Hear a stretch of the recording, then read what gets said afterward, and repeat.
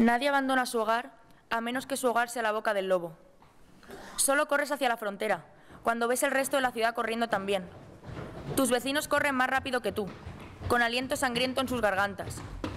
El chico con el que te fuiste a la escuela, el que te besó tras la vieja fábrica de hojalata, sostiene ahora un arma más grande que él. Solo dejas tu hogar cuando tu hogar ya no te deja estar. Nadie deja su hogar si su hogar no le echa. Fuego bajo los pies, sangre hirviendo en el vientre. No es algo que hubieses pensado hacer. Hasta que el cuchillo ardiente amenazó tu cuello, e incluso entonces llevaste el himno en tu aliento. Pero romper tu pasaporte en el baño de un aeropuerto, sollozando por cada pedazo de papel, te dejó claro que jamás volverías. Tienes que entender que nadie sube a sus hijos a una patera, a menos que el agua sea más segura que la tierra. Nadie abraza las palmas de sus manos bajo los trenes, debajo de los vagones. Nadie pasa días y noches en las entrañas de un camión, alimentándose de periódicos, a menos que las millas recorridas signifiquen algo más que un simple camino. Nadie se arrastra bajo las vallas, nadie quiere que le golpeen, que le compadezcan. Nadie escoge los campos de refugiados, o ni los cacheos que dejan su cuerpo desnudo y dolorido. Nadie elige la prisión, pero la prisión es más segura que una ciudad en llamas, y un carcelero en la noche es preferible a un camión cargado de hombres que se parecen a tu padre. No hay quien pueda soportarlo. Nadie tendría las agallas. Nadie tendría la piel suficientemente resistente. Los gritos de ¡Volver a vuestra casa!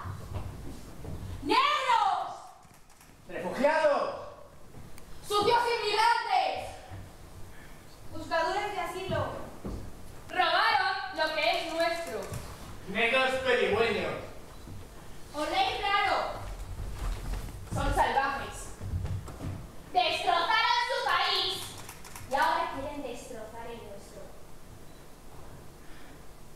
¿Cómo puedes soportar las palabras, las miradas sucias?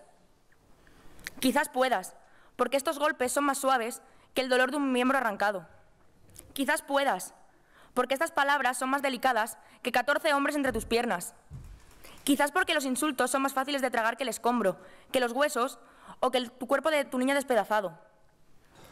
Quiero irme a casa, pero mi casa es la boca del lobo. Mi hogar está plagado de armas y nadie dejaría su hogar a menos que su hogar le echara hacia el mar. A menos que tu hogar te dijera que te dieras prisa, que dejes atrás tus ropas, que te arrastres por el desierto, que navegues por los océanos.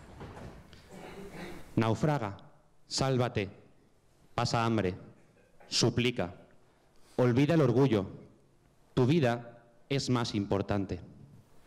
Nadie deja su hogar hasta que su hogar es una voz que le dice, Vete, huye de mí ahora. No sé en qué me he convertido, pero sé que cualquier lugar es más seguro que este.